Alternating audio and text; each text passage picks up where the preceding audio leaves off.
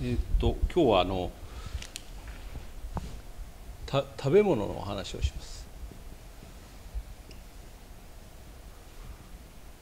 で、えーこの前はねあの、まあ、鉄のお話をしました。で、えー今日はあの主にどんなことを言うかというと、えー食べ物に関する噂。まあ噂には本当の噂と嘘の噂があるんですがこれは嘘。嘘の噂ですね、うんそれを今日は3つまとめて話そうかなと思っています。で1つ目はですね、えー卵。これ聞いたことありますかね？卵は1日1個。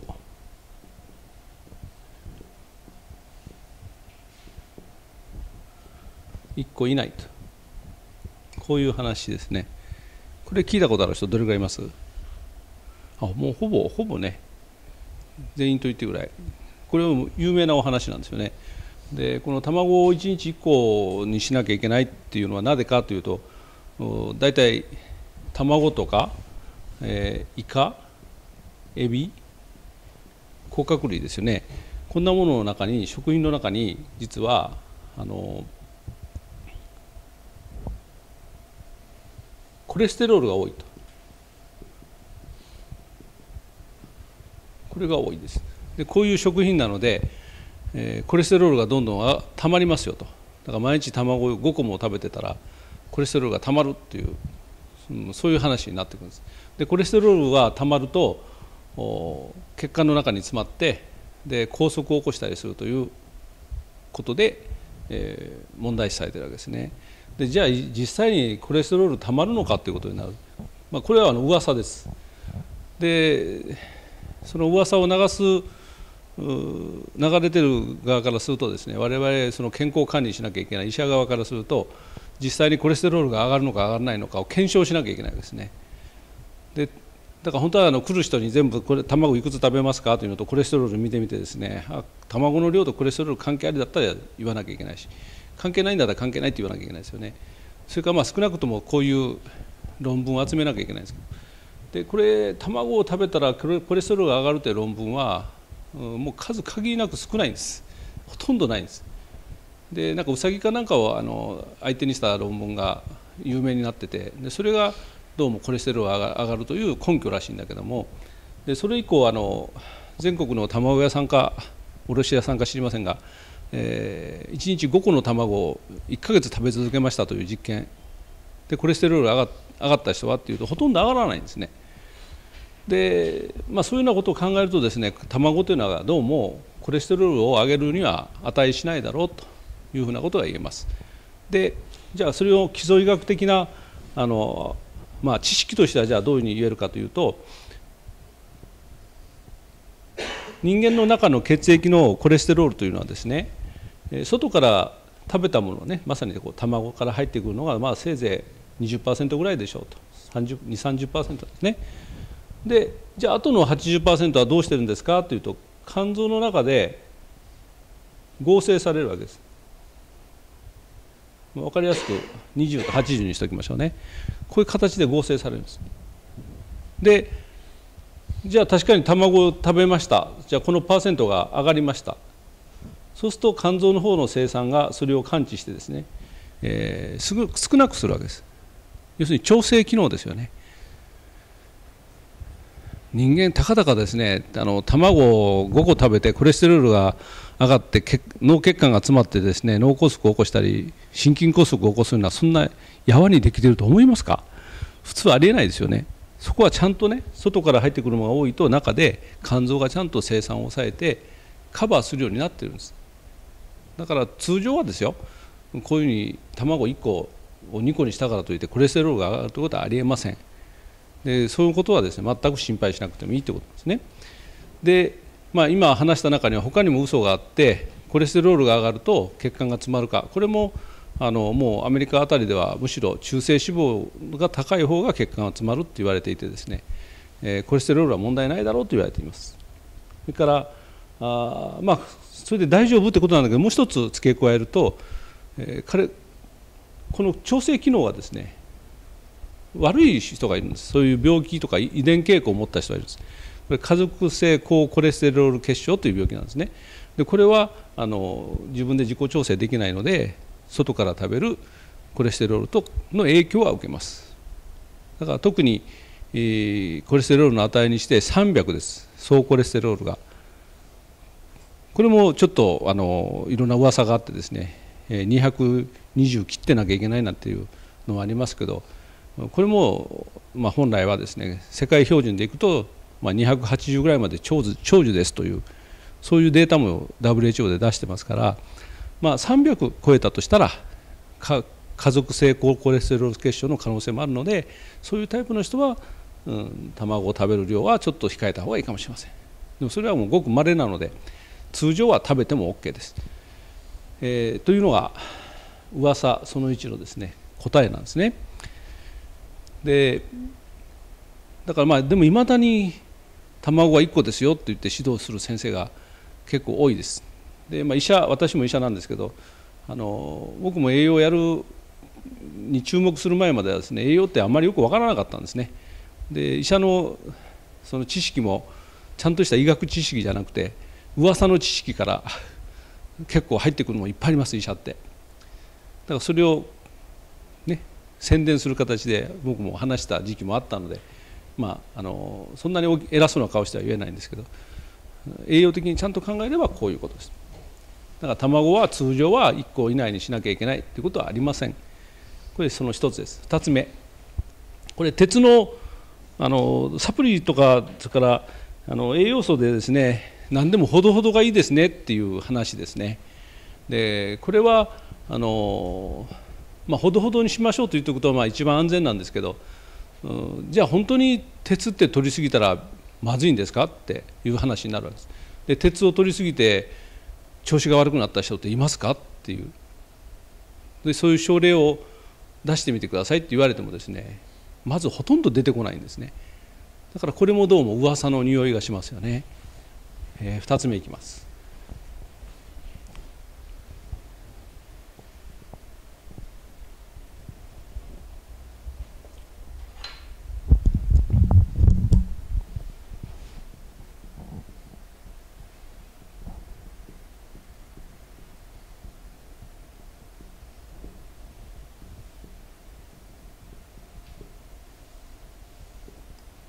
こういう話鉄の取りすぎに気をつけてという話、えー、これもですね鉄以外のことでもよく言われます。亜鉛の取りすぎに気をつけて何とかの取りすぎに気をつけてって言われるんですけど、まあ、今日はこの鉄に限って言いますけどもこれ食品からとか、えー、薬とかサプリから取る分に関してはですね鉄の取りすぎがどうなるかと答え言っちゃいますと鉄の取りすぎの分は便中に全て出るので体の中に入り込むことはありませんと。もうこれが答えです。だから取ったら無駄なだけです。それから便が余計黒くなるだけ。せいぜいそれぐらいなんですね。でその辺の話をちょっとしますとここに腸があってでここに食品が食物が流れてくるわけですね。で鉄がこういうふうにこう流れてくるとこの腸の粘膜の上皮の一番上の層の細胞に鉄というのはプールされるんですねこういうふうに。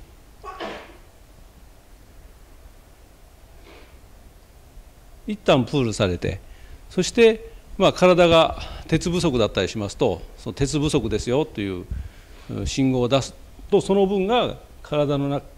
中に取り込まれる。だからその必要ですと言われない限りはみんながぞろぞろぞろぞろ体の中に鉄が入っていくわけじゃないんです。で必要でなくなったものはどうなるかというと、ね、腸の上皮は1日2日で剥がれ落ちて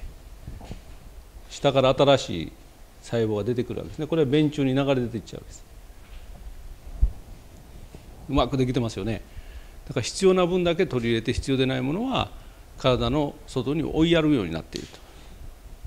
なんでこんなにあのね厳密にできてるかって考えてみるとちょっとここまで厳密でなくても普通思いますよね。ただね鉄っていうのは非常に危険なあのものではあるんです。鉄という金属が生体反応に当たるとフェントン反応というのを起こしてですね。で活性酸素というのを作ります。で活性酸素は各種細胞の膜障害を起こして細胞の機能を落としちゃうんですね、えーまあ、うまく使うには外から入ってきた敵をその活性酸素を発生させて攻撃するとやっつけるというあのそういう防御にも働くんだけども自分自身も傷つけちゃう。だから鉄というのは体の中で本当に上手にコントロールされて必要な分だけ必要な分だけですねあの使われるようになってです。だから武器と一緒ですね。自分の身を守るためだけの武器は使うけども武器をあちこちに氾濫させておくと大変なことになっちゃいます。だからそういうふうにして鉄は取り込まれないように危険なものでもある取り込まれないように注意をしつつメカニズムがあります、まあ、これをゴッドハンドというね呼ぶ人もいますけども、うん、そういう生態リズムあのメカニズムがあるので鉄の取りすぎということは基本はありません。じゃあ取りすぎの病気はあるかというとですね、えー、あります。それは1歳未満の子どもの場合はまたこういうメカニズムがちゃんとできてませんから、うん、鉄がドロドロと入っちゃう可能性があります。飲んでね。だから1歳未満の子にはちょっと気をつけた方がいいでしょっていうことがあります。それからあのもう一つはあのああまりの鉄不足で貧血でこれはいかんという時によく先生があの鉄鉄の注射を打ちます、ね、これは、ね、大変危険です。あの中で活性酸素いっぱい発生しますからあの毎日のように続けちゃ基本的にはいけないでしょうね。365日そんなことしてたら体ボロボロになっちゃうでしょう。だからまあある時だけ仕方なく入れるということにはなるんでしょうけども本当に入れる必要があるかどうかね。僕これ実際に、えー、ヘモグロビンでですねで大体普通ヘモグロビンって13ぐらいあるんですけども、えー、7. 点いくつだったか2か3か、まあ、それぐらいまで落ちた人、ね、かなり落ちてるんです。貧血なんです。でもこれもあの鉄剤吸収のいいヘム鉄っていうのを使ってですね、えー、治療しました。そしたら1週間2週間もう本当にそれそれくらいの感じでぐんぐんと上がってですね10くらいにはいくらでもなっちゃうんですね。だから鉄剤なんか使うあ鉄の注射を使う必要はないなとその時思いました。でヘム鉄っていうのは、まあ、この中でも特に吸収率が高いですからこういうふうに入り方がいいんですね。でさっきも言ったみたいに体が要求してれば鉄っていうのは大量に入っていきます。だから腸から入れてやるので十分だろうと。このゴッドハンドという体を守るメカニズムをうまく使って鉄というのは取るべきだろうなというふうに思っています、まあ、だからそういう注射でもやらない限りは取りすぎはないだろうと。だから鉄の取りすぎに気をつけてっていうのは注射を打つ先生に対して注射はさえなるべくやめてねっていう僕にはそういうふうにしか響かないですね、まあ、これが2つ目の噂です。だから通常は気をつける必要はありませんよっていうことですね。で今度3つ目いきましょう。まあ話すとたくさんあるんですけど3つぐらいにしましょうね。で今度はですねあの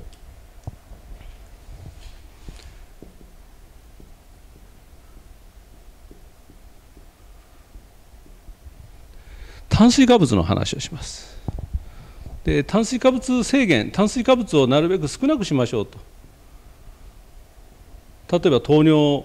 なんかであの血糖値が高い場合ですね。それから糖尿じゃなくても食原性低血糖症といって今若い人たちが炭水化物取りすぎてですね、えー、血糖が低くなる病気が蔓延してるわけです。でそういう時にも少なくしましょうって話をします。そうすると必ずここで出てくるのはあ炭水化物はですね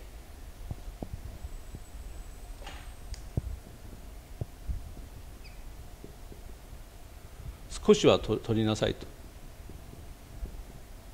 特に朝なんかは糖がなくなるんだからしっかり食べていきなさいと。そういうあの噂ですね。日本人は昔からお米を食べることになってるからあの必要ですとかね。日本人とアメリカ人でそんな違うのかそんな違うとは思えないですけどもあの、まあ、こういうのは正しいか正しくないかですね。でこれに関して言えばあの正しいとも正しくないともこういうことをわざわざ言わなくてもいいというお話をしたいと思うんですね。でそれはどういうことかというとパンとかご飯とか麺とかこういうものはあの炭水化物がほぼほぼ100%なんですね。で他の食品はどうだろうとで炭水化物ゼロって食品あるかなってまず食品ではないでしょうねなんか鉄をご飯代わりに食べてる人がいたらそれは別ですけどあの普通の食品の中にはですね炭水化物必ず含まれてるんですね。で比較的少ないと言われてるのがチーズですね。でこれでもまあ10%以内ぐらいの炭水化物は含まれてるわけですから。で他にある雑多な食品さまざまなものはこの間に位置するわけです。炭水化物が比較的多いもの半分ぐらい含まれているもの。炭水化物が割と少ないもの、まあ、こんなふうな食品に分類されるわけで。で我々が言っているですね炭水化物を制限しましょうと言ってるのはあまず低血糖症重い人はさらなる制限が必要ですけども通常ですね気をつけましょうと言ってるのはこういうほぼ100%のものですね。甘いもの間食系パンご飯麺類。でこういうものは食べるのを差し控えていきましょうという話をこうするわけです。でこういうこと言われちゃう。炭水化物は少なく少なく少しは取りなさいよと。言われなくたってご飯何か食事を食事をとってる限りはとってるわけですからそういう心配はないんです。でさらにこういうふうに言う人たちは少な少しはてのはお米も食べなさいよ。パン、えっと、ご飯麺麺類もパンもこういうも少しは食べた方がいいんですよという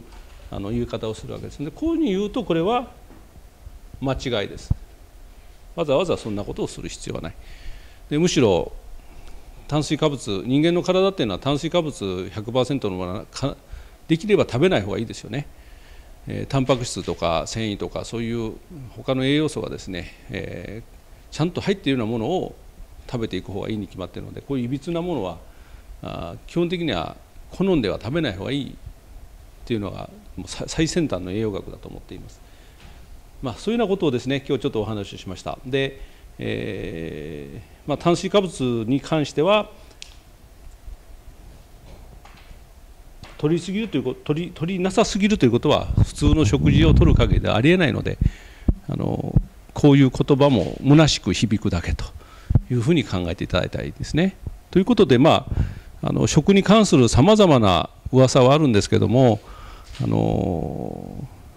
まあ、その辺のところをこう科学的にですねよく理解をしながらそしてあの、まあ、基礎医学とそれから臨床の実際ですね、えー、基礎医学と臨床って違いますから臨床上は実際はどうなんだろうねっていう検証をですね繰り返しながらこういう噂に対処していかなきゃいけないということなんです。でところがあの今の現状を考えるとなかなか臨床的に検証しながらあの、まあ、科学者との目として医者がですね普段あのそういうものに目を向けながら見守らなきゃいけないんですけどもどうもそういう見守りをしないであの噂を信じてるわけですね。だから科学者の立場をあの放棄しちゃってるというのが僕にとっては大変悲しい出来事だなと思っています。今日はそういうことで終わりにしたいと思います。